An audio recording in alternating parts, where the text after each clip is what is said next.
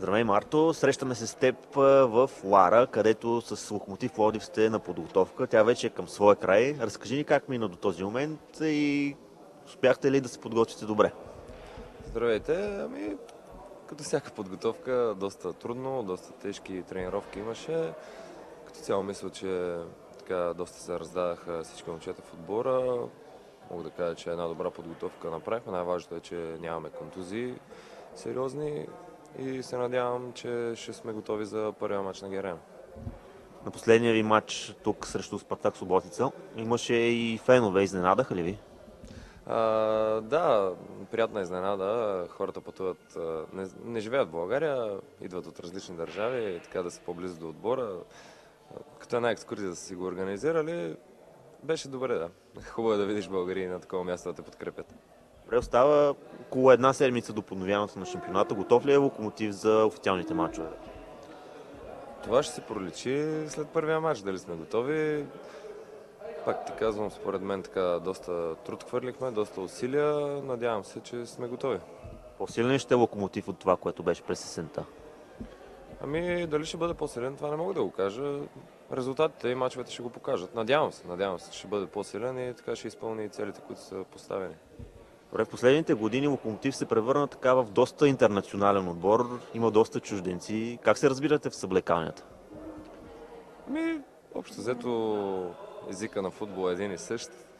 А, така, повечето чужденци са от балканските държави, езика е близък, разбираме се добре. Хубаво е да има повече българи, но и така нещата, според мен, се получават. Говорим си, няма някакво разделение горе-долу. Добре са нещата, но като цяло ще е хубаво да има повече българи. А лично от теб, какво да очакват феновете на вратата на Локомотив през пролета? Аз винаги, за който отбор да съм играл, винаги съм дал всичко от себе си. Понякога нещата не се получават, разбира се, но като цяло аз винаги играя с сърце и се раздавам до последно и се надявам да ги зарадвам с хубави мачове, с добри резултати. Какви ще са приоритетите на отбора? Влизане в първата шестица или ще се концентрирате за Купата на България? Не можем да си избираме едно от двете, според мен, защото имаме шанс и на двата фронта. Докато има теоретичен шанс да гоним място в топ 6, ние ще го направим. Не всичко зависи от нас, така и другите отбори ще да губят точки. Имат така тежки програми, но надявам се, че и за купата така е доста важно. Все пак това е и по-прекия път към евротурнирите. Пък и Локомотив така не е играл финал доста дълги години. Надявам се, че с малко и късмет, защото без късмет нищо не става, с много труд ще успеем да зарадваме феновете. Колкото по-нагоре, толкова по-добре. Преди няколко години Ботев спечели купата. Сега може ли Локомотив да го направи? Защо не? Имаш а, всички шансове. Мисля, че е ред и на другия полиски отбор вече да дигне купата. Много ще бъда щастлив. Според мен имаме реални шансове. Теж, тежък мач не очаква в Търново със сигурност. Един добър отбор но не е невъзможно. Какво е чувство да се играе в Пловдивското дерби? Последния мач ти нямаш много добри спомени, но все пак каква е атмосферата? Ами атмосферата е така доста приятна, така да го кажа. В седмиците преди матчите тресе така една, едно напрежение, срещате хора по улиците, фенове, говорят. Целият град живее за този матч като цяло. Наистина е уникална, уникална емоция. Така от първото дерби имам добри спомени, от второто лоши, но това е футбол. Не винаги успяваш да победиш, не винаги нещата се получават. Надявам се, че следващия път ще остана пак с добри спомени. В момента Ботев с 10 точки пред вашия отбор. Мислиш, че в края на класирането може да изпреварите градския съперник? Това не съм го, не съм го мислил. Нашата цел е друга. Не гониме точно срещу тях с някакво класиране да сме пред тях. Гоним си нашите цели. Ако успеем, ще бъде добре, но ще е много трудно. 10 точки са много. Преди известно време ти изкара труден период с една тежка контузия. Как премина през тези трудности?